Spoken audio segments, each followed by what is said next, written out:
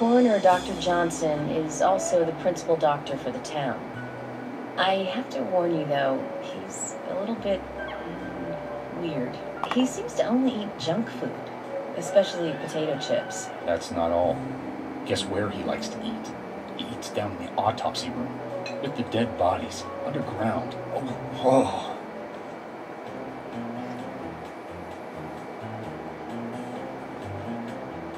Fiona told me he spends almost all of his time down there. He's a workaholic, I guess. Workaholic? You mean he's probably just a nutcase? Eating surrounded by dead bodies? There's something broken in his brain. Lives among corpses on a diet of potato chips. Sounds like just the man we need. I think you're missing the point. Let's get going then, George. Okay.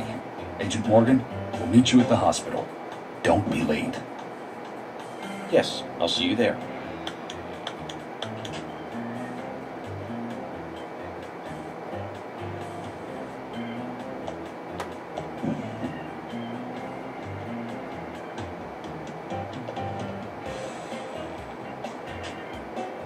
Zach, this coroner sounds like a rare breed indeed. I can't wait to chat with the fellow.